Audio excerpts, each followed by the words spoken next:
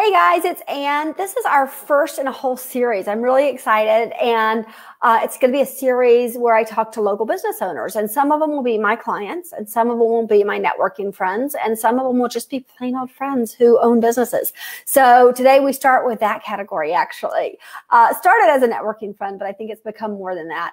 So Karima Davis is here from my tutor partners. Hi, Karima. Hi, Ann. Thanks so, for having me. Yeah, I'm so glad. I was really excited and it was good timing because here in Maryland, our kids all started back to school today. Um, and Zane is actually, I will tell you this story. You will appreciate this. Zane is done, by the way, he got almost all A's this semester. Wow. His, his B was a very close, you know, to A. And that's a huge difference because, you know, he's had, a, he's really struggled with school um, but I thought I was on top of all this stuff. I got him sat down on the table this morning and I said, okay, your classes are going to start. And then I went back and read the principal's note and I was like, oh, they're not live. so I had visions of them doing something like this where they're talking. Anyway. Yeah. Anyway, so Karima, tell everybody a little bit about your business. Yeah. So um, basically i work with families of um, mostly primarily middle school and high schoolers um, who are struggling with school or maybe even high achievers um, but basically the focus is on um, helping students build confidence and achieve their highest potential and find the right balance between academics and their mental well-being. So um, we work with students through tutoring test test prep and now um, we are now offering parent coaching for parents to help them get a better idea as to how they can support their students at home and that was something you started offering even before this happened, right? That you, because you because you saw this I saw it happen actually. I saw you watch what was happening here in Severna Park and saw the stress that these kids were going under and realized, wait a second, there's something in the parenting as well that can be uh-huh. helped. So I, I love that you did that. I really Absolutely. appreciate that. Yeah. Absolutely. So uh, before we really get into some of our tips that we're doing, actually, let me say this too, because I don't think you said it. So she does virtual tutoring, uh, which, and she did virtual tutoring before this started. So mm-hmm. that's how she helped Zane. She did virtual tutoring with him. He had this nice little pad. What's that called? Little- um, it was just a writing, a digital writing pad that it and, connects to his laptop or his computer. Yeah. And then he could do the problems on there and she could see it. So it was virtual tutoring, which is really cool that you do that. Um, and, and we loved it. We thought it was great. Plus, here's the thing that I thought was great personally is I didn't have to drive them one more place. Mm-hmm. Right. Yeah. And, and kids are already on YouTube learning all the time. So they're used to this medium. So yes, it's really exactly. great. Yeah. All right. So let me, before we go on, what we are looking at is this is going to be probably about a 30 minute conversation. If you're not going to be able to stay tuned, um, you've got something that's free and it's, you said five smart tips. Do you want to tell them a little bit about that? Sure. Yeah, I've put together five smart tips for parents and students to really help you um, succeed with virtual learning. Virtual learning is something that's new for many, especially now. Like you said, Ann, we've been doing this for a long time, uh, but a lot of people don't really know about it and they're afraid and they're worried that their kids won't be able to stay on track as they normally would in school. But there are ways to do it. There's so many tips that I have to share. So I've put together, it says five, but um, in a little 10 minute, 10 minute audio, you're going to get some really cool tips to help you um, just get your child on track and make sure that they're ready to go and you have a smooth ride through your uh, virtual learning journey. So that's it. So you can go to this link that Ann has up on the screen now and uh, click it. You're going to be able to go and, and just download this uh, tips, the five tips. Awesome. I want to switch gears a little bit too, if you don't mind, because one of the things that we're doing, we're doing this on my social media page, and we're doing it there uh, and social media and marketing, but we're doing it there because I also want business owners to see how, you know, kind of learn some tips. How can you build your business during this time? And and you started this. This is a landing page you created. Yep. And it will help you. What? What, what will it help you? How will it help you? So, for me as a business owner, I get to share uh, valuable resources, content for my my uh, you know for parents and for students out there.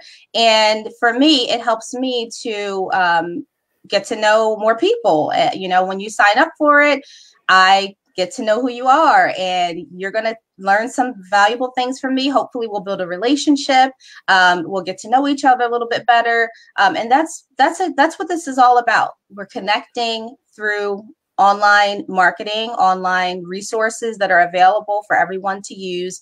And every business can do this. It's a way to also, um, you know, grow your business. Right. And it's scary. I think people think it's really, oh, it's going to be so hard, but it, it's not as hard as they think.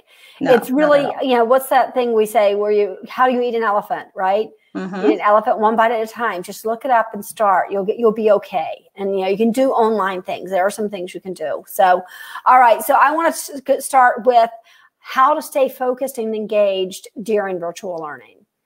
Yes. So this is one um, that I could talk about for days, but to keep it short, um, I guess we have students out there who are taking live classes from their teachers here and there depends on where you are which county if you're in maryland which state you're in if you're somewhere else outside of maryland. Some some counties or some school districts are offering live classes and some are offering just um, i guess resources or curriculum for the students to follow. And then i'm assuming that they are emailing their teachers or corresponding some way after their work is submitted if they have questions that kind of thing. So let's take the first uh, scenario. So imagine that you are having live classes if you're having live classes, it's really important for you to take advantage of that time as a student. So you want to make sure that your child is getting onto the class on time, getting logged in early so that if they have any technical issues, they're not going to get stuck, you know, right. and not make it into class 10, 15 minutes later and miss half of what, what, you know, what they could have learned. Um, and when they get in there, you want them to be engaged. So we're using uh, software, virtual software right now that allows us to communicate. It will be very similar in a virtual classroom, except they'll have probably a, tons of other um, tools that they can use to, for learning. So they're gonna they're gonna have a chat box. They're gonna have you know microphone, uh, video, possibly video uh, access and features. So you want your student to um, pay attention to the to the teacher, stay engaged by using the chat if she's asking questions, responding, you know, in the chat, um, not just sitting there being shy. Um, also, um, we have in Zoom, of course, a feature where you can raise your hand if you have a question. Raise your hand. You know, tell your student to raise their hand. If there is an assignment that you need to do, they need to do um, in the classroom within the class time, make sure they're you know, getting that assignment done. Make sure they're, um, you know, maybe they might go into a breakout room and they have to work with other other classmates. Make sure they're getting those things done. That is valuable learning time that they're not going to get once they leave that virtual classroom. Right. And well, it's funny that you said you're talking about all of this because one thing I thought he sat down at the computer this morning, and this was before I knew it wasn't live, but he sat down at the computer and and by his, you know with the computer, and that was it. And I was like, don't you think you should have a piece of paper and a pen or a pencil? Or, and he's like, oh yeah. it's like, how about your agenda? Okay. so yeah. Yeah. So I all of those the things. preparation is huge. Yeah. Preparation is huge. And all those things you just named. and many students think that, oh, I'm learning online. So I just need my laptop or whatever device they're using. No, you need a notebook. You need paper, pencils. Um, you need a calculator possibly. You know, you want to have these resources handy. You want to have your agenda so you can stay on track. And if you, if something comes up, you see an assignment that's going to be due, you know, sometime soon, you want to go ahead and write that down and keep you know keep on top of all of your things in the same way you would if you were in your brick and mortar classroom Right, right. Yeah. So um, I'll tell a little story here, and, and I don't think he minds because we talked about it Friday. Um, Ethan, my middle son, is in college and he's doing virtual classes, and it's really difficult. He hates them. Uh, but his freshman year of college, he took a virtual class and I think he felt it. I'm, uh, I'm pretty sure if he didn't feel it, he came very close to feeling it. And it was because he kept coming up with these excuses. I can't, I can't get on. The teacher's not doing this. I don't have that. Mm-hmm. I don't. And what it really was is that he wasn't accountable. So how can we help hold them accountable? And what should we make them accountable for? You know, how, you know, because we don't want to completely micromanage this. Yeah. Especially, especially middle school and high school. We don't want to micromanage it because they're not, we're not going to micromanage it next year. Not at right? all. Yeah, exactly. So, uh, yeah, and that's a very good point that you made. So, when I'm saying make sure that they're doing these things, of course you want to communicate this these all of these tips that i'm giving right now communicate those things to them initially because they're just starting off with something new right but once they know and you know you might want to have like i said download that um the, the resource that I mentioned earlier, that's going to have um, an audio and a slideshow that you can use. You can print it, you know. Um, but once you give them that information, it's up to them to use it, right? And then it's right. up to you, of course, to follow up and you know to make sure they are, but not don't micromanage, right? Because right. you're like exactly what you said. You won't be doing that once they go to college. So right. um, the thing is, in terms of accountability, I I think that there are so many ways that they can hold themselves accountable. So one thing I want to say is that students always collaborate with their peers, with their classmates to, to make sure they're getting their work done, right? They right. check in with each other to see, like, okay, what's due tomorrow or next week, or what are we doing here and there? So they can do the same thing with virtual learning. It's no different. Hold each other accountable. So I would encourage them to, you know, the same way they would before, check in with their peers get someone one or two friends or classmates to be an accountability buddy you know to make sure they're getting everything done that's and they can idea. hold each other accountable um, that's one way um, another way would be um, making sure that you know they are setting up their space setting themselves up for success so what i mean by that is that we talked about staying focused being accountable also means you know, of course, like we said earlier, getting to class on time. But when you're in class, making sure that you shut off your social media, that you shut off the other tabs, right? Um, right. All on your computer. Don't have 20 tabs up that might distract you. So these are all the things that they can, you know, they can do as well. And when I say monitor your social media usage,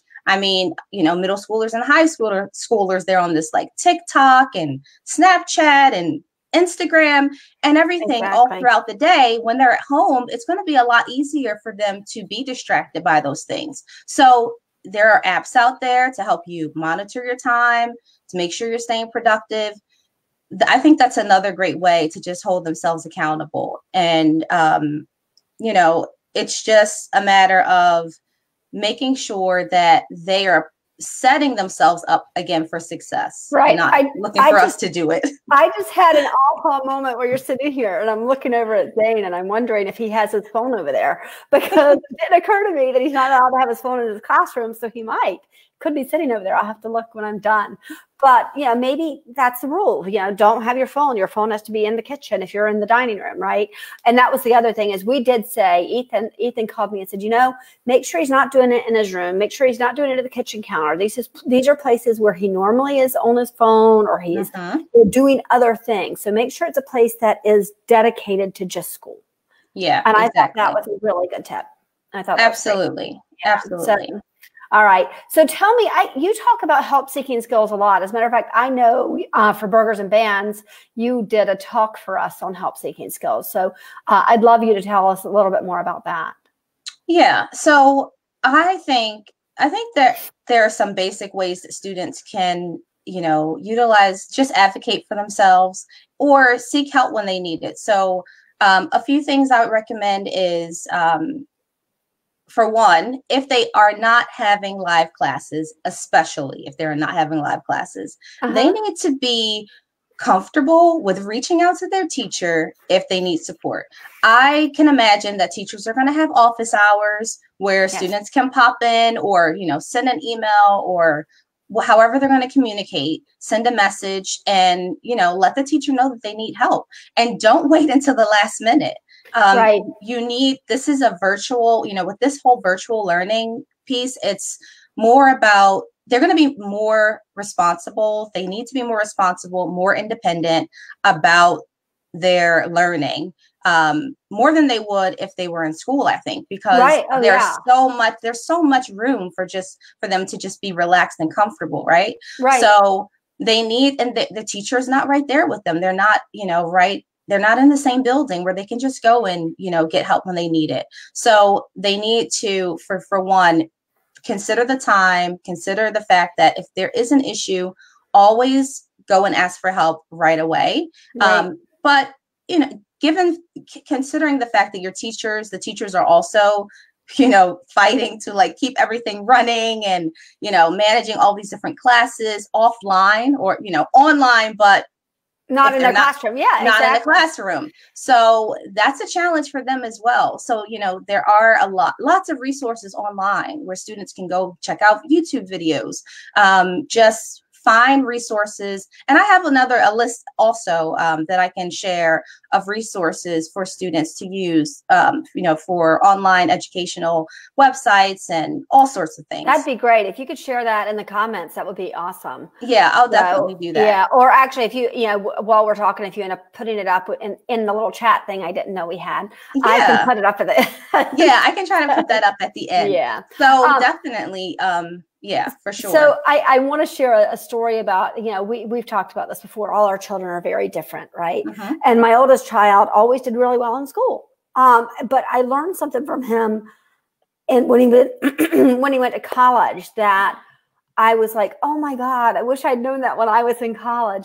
He, even though he, you know, got brilliant grades all the way through, he went every time there were office hours for a professor, he was there. And I actually thought, God, I wonder if he's driving them nuts. So I talked to my sister in law, who's a professor, and she says, No, those are my favorite students, my ones who come for office hours. Mhm. So we told all our midshipmen that, and every one of them that has done well has used that same skill. So it's kind of nice for the children to have this right now where Yeah. they're having to use these virtual office hours. But it's nice for them to learn the skill before they get to college because then they get there and they're like, oh, I know office hours. I get this. It is. Right? It's very, I, think virtual learning, it allows more opportunity for one-to-one time. That is one advantage of it. It may not seem like it at first in the classroom if they're having live classes, but there is that, that office, the office hours are there. and There's that time where they can have that um, time with the teacher alone to get that one-on-one attention.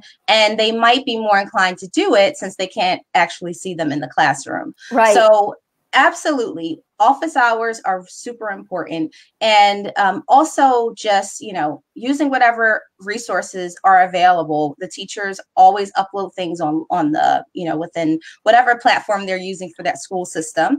Um, use those resources. You know, Right. check in check in with your friends who may even you know be have more clarity on whatever the question is that you have.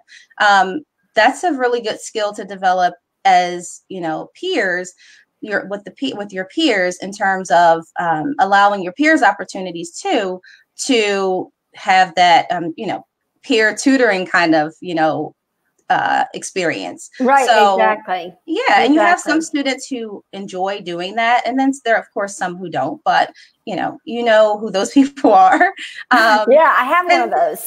yeah So, and then of course you know if you um if that doesn't work we're here we're we love helping students so um at any time if you feel that it's just too overwhelming um we are here to help students you know, that's a get to good where they point. need to be because they can if they have these and the teachers you know they're yeah some some teachers honestly they just aren't getting along the kid is not getting along with that particular teacher so that's a Mhm. really great time to say you know what i got the work i know what's going to happen let me call karima or somebody on karima's team and work with them to get my get my child through this i think that's a really good point yeah Um, absolutely while we're doing this, just so you guys know, we can see comments. I can see them coming in. So please do leave comments, ask questions. You've got Karima here. She has been doing this for a long time and in so many cool ways. And and Karima, you do every you've got somebody who teaches almost every subject or every subject probably. Yeah, and let me just mention one other thing. And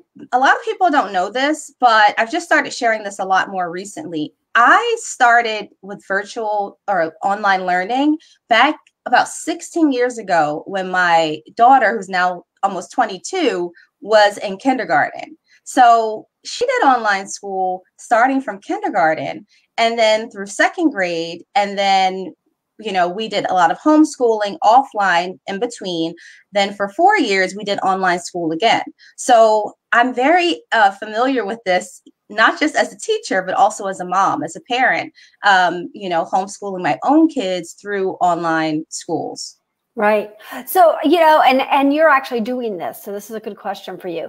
You're doing this right now. Your your kids are learning at home. Mm-hmm. You are at home trying to run a business mm-hmm. and trying to be a mom. Being a mom is a lot of work. You know, I was just thinking, oh my God, I've got to go in, I've got to empty that dishwasher. I haven't done that yet. And I've got to do and meanwhile, I'm trying to take care of my clients and trying to do this. So what is your best tip for not losing your mind during this? And also not losing your temper?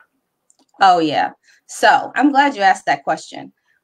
One thing I want to say to parents, especially now, is to please be compassionate. I know you are just, you know, I'm sure you're lovely parents, but your kids really need it right now. They're right. super duper stressed and overwhelmed with everything that's going on in the world right now. And this is just something new for them that's on top of it all. They can't go to school, they can't see their friends, everyone's social distancing. We are just, you know, well, we have our- scared because you know you if you look at pandemics on, in movies, they're scary. Your insides are melting and the world, you know what I mean? It's like the worst thing you can imagine. Everybody's dying of this thing.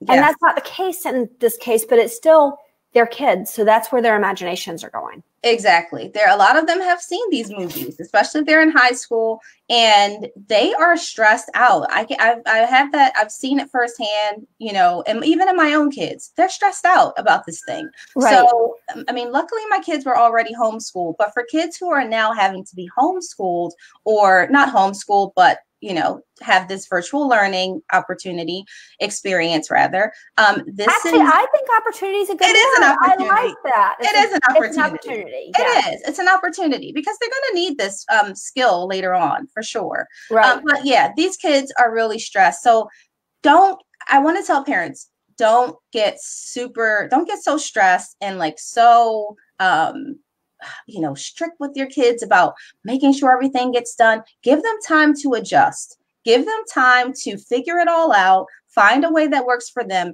find a schedule that works for them.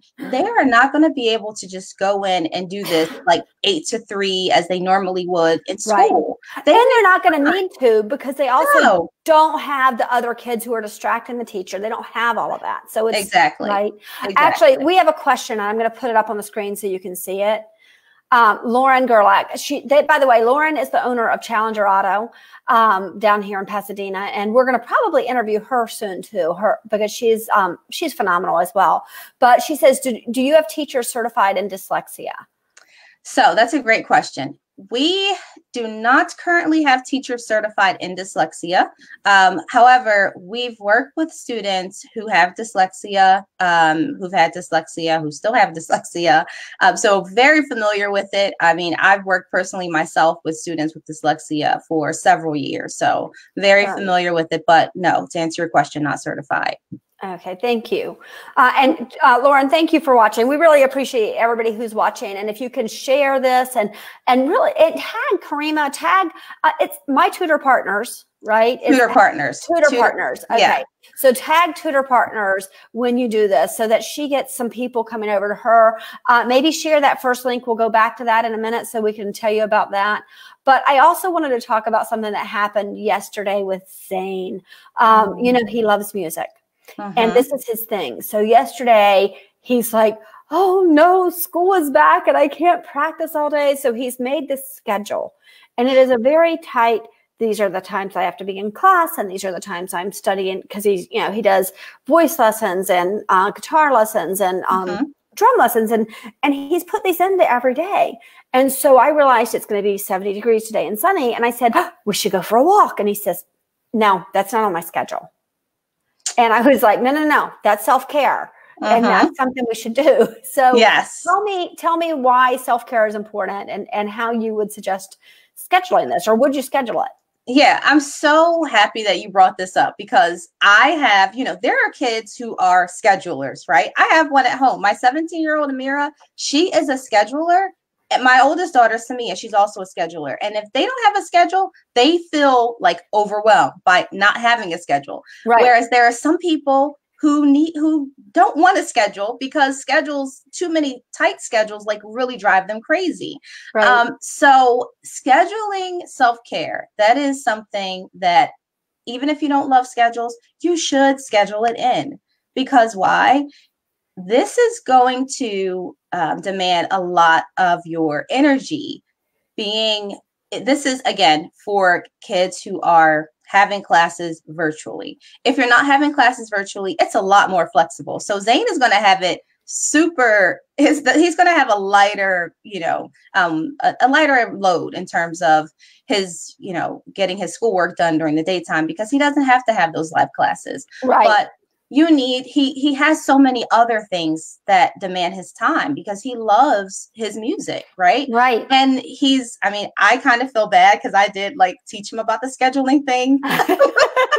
Well i appreciate that. No no i think it's but, good but I, but i also think that it's you know again yeah. you've got to even us as adults even yeah. and, and i keep saying that to moms schedule your time where you say to the kids, I'm going to my room now. Or for yes. me, I love television. I'm going to go sit down and watch ER now. And I will always yep. say, I've got a 45 minute show. I'm going to watch ER. This is my quiet time. Unless you need me, please let me have this. Mm-hmm. Right. And I think yep. there there are things that you need to you need to schedule it for yourself as well. You do, you do. And especially, you know, with them working at home and not getting out to go to their school, things like going for a walk, getting up, going outside to do something, right? The weather is going to be beautiful soon. Today is it'll be beautiful, right? Right. Get up, get out, do something. And even, you know, every few minutes, stand up and stretch. Don't sit for hours straight just doing schoolwork glued, glued to the screen um, because that's so easy to fall into.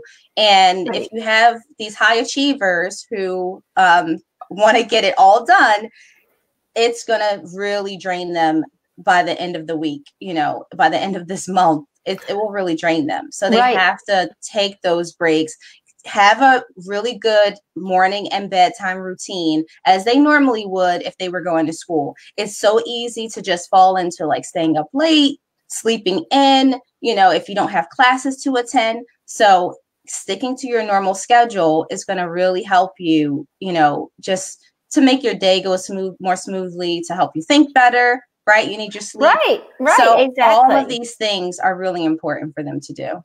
Right. Right. No, I, I, I, you know, you, when I just said to you, what are the things we should talk about? And I was so happy to see that you put self care on there because I do think it's so important. And again, not just for the kids, but also for the parents. I think absolutely we're stuck here and, um, it's so easy. It's so easy to get yourself stuck into Amory. Um, oh, Tolman, I think is her last name. Uh-huh. She talked this morning about the fact that many of us are already in this new environment that we're living in going, I don't have enough time. Uh-huh.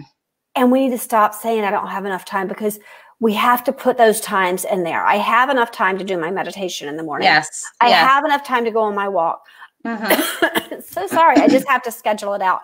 By the yep. way, spring has definitely sprung. I yes. am sneezing. My eyes. I put on makeup this morning, but I'm sure I'll have two black eyes by the end of the day from rubbing them from the the pollen. I know, so, me too. I know. Yeah, but you crazy. know what? And another thing I wanted to say is you're so right about parents, especially if you have younger students, younger children who are um who are more who are more in more need of your help right? Right. So they're going to be coming to you. They don't have the teacher there. They're going to need you to, you know, help them. But at the same time, you have to take that mommy and daddy time to just like take care of yourself and not, you can't give anything to them if you've used all of what you have, right? Exactly. At the end of the day. Exactly. So you definitely have to take those breaks, take time out for yourself and you know do the things that you love and and don't feel like you don't have the time like you just said it's you have it you just got to schedule it in right right exactly so all right so i've put that I, have had the far, five smart tips back up here for you guys to look at um, that is a great place well if they click there are they going to also be able to click through to your website No. So, so if they click there, that will not take them to my website. My website is mytutorpartners.com. So um, definitely visit our website. If you have any questions, uh, feel free to schedule a time for us to talk. Um, there's a link on my website for um, to schedule a free assessment call. Um, I'm happy to give advice to parents who need it right now. I know it's a you know we're in a really trying time, and people right. are, there are going to be some people who are really you know taking this.